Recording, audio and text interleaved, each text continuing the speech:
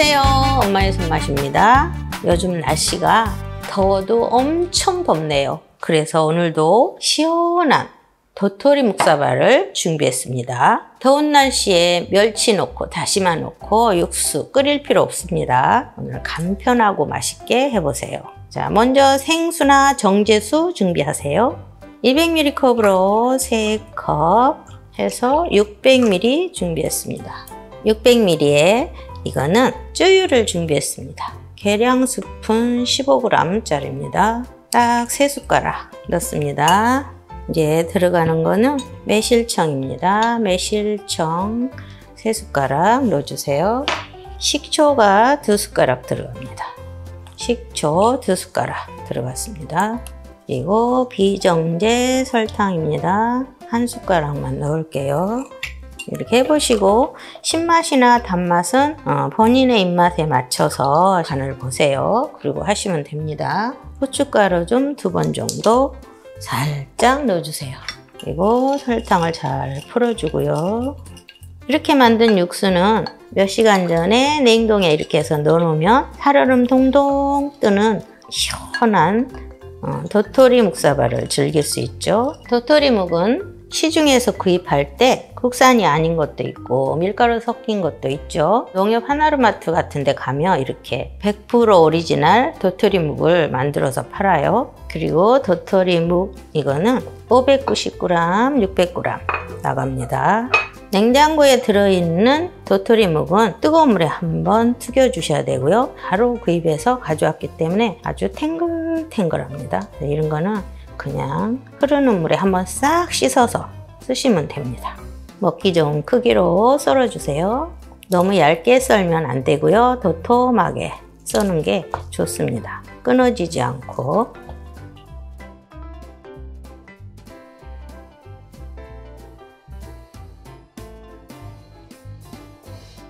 오이 한 개를 준비해 주시고요.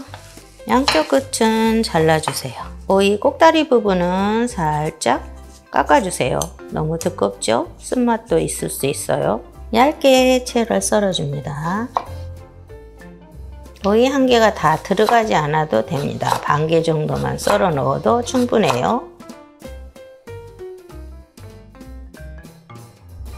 양파 반 개 들어갑니다. 자색 양파도 좋고요. 네, 하얀색 양파도 좋습니다. 묵사발을 해놓고 먹을 때 달콤한 게 씹힙니다. 양파가 그리고 건강에도 좋죠. 네, 조금 채를 얇게 썰어주세요. 집에 양배추가 있으신 분들은 양배추 채를 얇게 썰어 넣으셔도 맛이 좋습니다. 자, 쪽파 다섯 여섯 줄 준비하시고요. 쪽파도 쫑쫑 썰어줍니다. 쪽파, 실파 다 넣으셔도 좋습니다.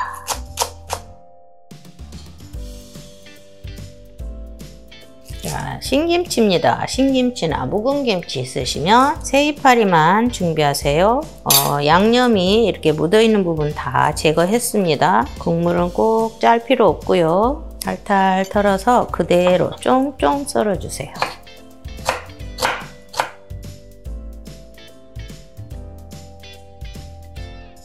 김치에도 양념을 조금 해줘야 되겠죠? 다진 마늘 많이 넣을 필요 없고요. 작은 숟가락으로 한 숟가락. 예, 마늘 향하고 또 배합이 돼야 되기 때문에 고춧가루도 작은 숟가락으로 한 숟가락 정도입니다. 자, 고춧가루도 작은 숟가락 하나 들어갔고요.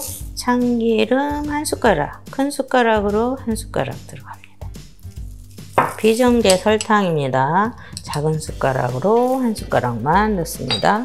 볶은 통깨 살살 한 숟가락 정도 넣어주시고요. 이제 조물조물 해주세요.